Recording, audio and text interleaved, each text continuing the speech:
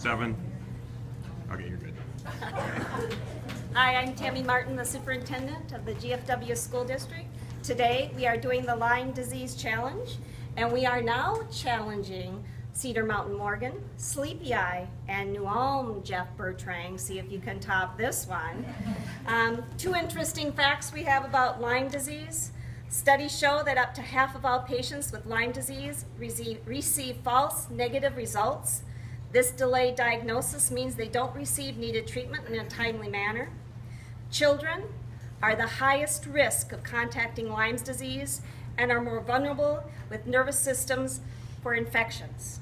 So, our Lyme disease challenge, we took up a collection and we have three winners who are going to be doing the challenge for us. And the staff have voted.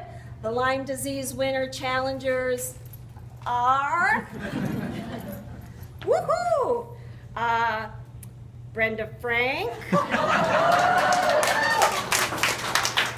Nat Boyer,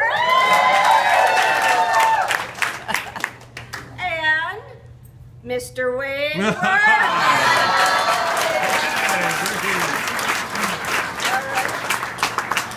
All right, you want me to? Oh, sure. All right, here you go.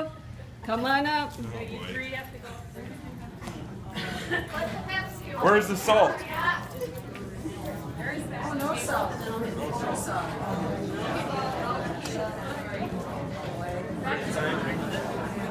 All right, on the count of